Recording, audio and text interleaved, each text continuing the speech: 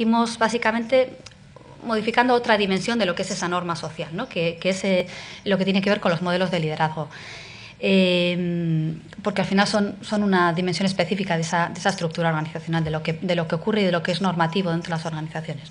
Teníamos diferentes modelos de, de, un hombre directivo, ¿no? y como un, un, modelo de, eh, de dirección de hombre eh, menos estereotípicamente masculino, más orientado a normas de, eh, socioemocionales, de apoyo, etcétera, eh, versus otro modelo más estereotípicamente masculino y versus una condición control. Y de nuevo lo que observamos era que esta influencia normativa social tiene un efecto claro sobre la conducta. En este caso lo que hacíamos era, era grupos reales de empresas, de, participaron 30, 30, y pico empresas de, de, todo el País Vasco y lo que hacíamos era les poníamos en, en grupos, no sé si os suena el, el dilema prisionero, es un, eh, bueno, una dinámica clásica en, economía, bueno, en juegos de, suma cero, eh, no cero, y lo que, lo que se planteaba era, bueno, pues ver en qué medida quería cooperar la gente con, con, el resto en cada una de estas condiciones. Y lo que se observaba es que